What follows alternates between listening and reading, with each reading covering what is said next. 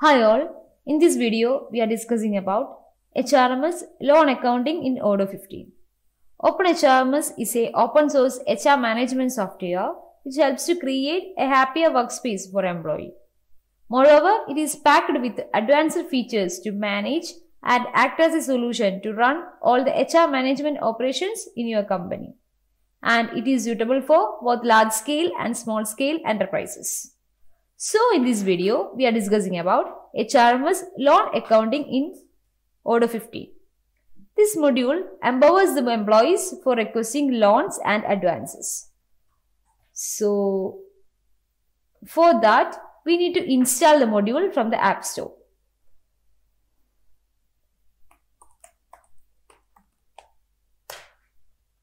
That is OHRMS loan accounting. Currently in my database, I install this module. If you don't install the modules, you can install it from here. Once we install this module, you would be able to access this feature.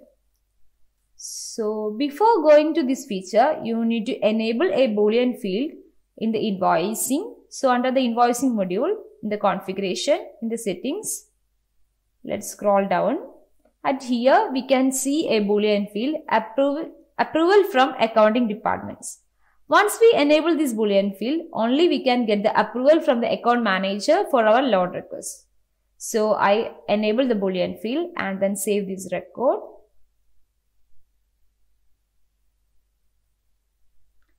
And uh, for that, let's go to payroll. So inside the payroll, under the configuration, in the salary rules, we can see a new rule that is loan. Once we install this module, automatically a rule loan is added at here and also under the configuration salary structure, we can create the structures based upon this loan. So I just created a structure loan structure which includes this loan salary role which is a deduction category. And insert the employees, from here there is a uh, menu for loans and advances. So at here we can see a menu request for loan from here, we can create the requests for our loan and then the uh, account managers can approve or either refuse it and then it moves to further verification process. So, let's try to create a loan from here. So, when we click on this create button, a form will appears. In this form, here it is a field for employee. So, currently I am logged in as Michelle Admin. So, Michelle Admin is automatically populated at here and based on the employee the management the department is appeared at here. At here we can add the amount the add the amount that we need loan. So and at here we can add the number of installments. And then the date. The date is automatically get by the today date. And the job position is based upon this employee so if I choose Audrey Peterson, automatically the department and the job position will be changed based upon this employee's name. And at here we can get the company. So currently I am logged in as uh, my your company. So it is shown as your company and then the currency and this is the payment start. We can choose on the which date that we started our payment. And then let's save this record. And there is a button compute installment. While we click on this button automatically the installments that means the number of installments and the amount that we need to pay appeared at here. That is the payment date and then the amount. And at the down we can see the total amount and the total paid amount and then the balance amount at here.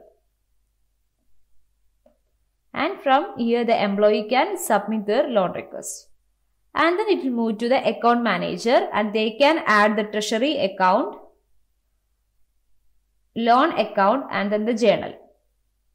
If we not enable the boolean field account manager, we can approve this loan request and then approve it. So now the loan request get approved. Then let's try to create the payslip for the for this employee Michelle admin and then we can see how it detects its loan amount. So go to payroll. At here choose the employee Michelle admin and then compute sheet.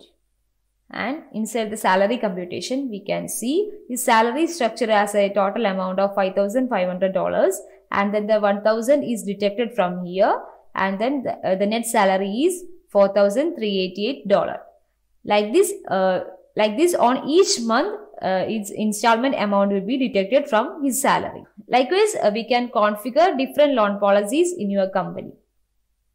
For more details about OpenHRMS, you can visit openhrms.com.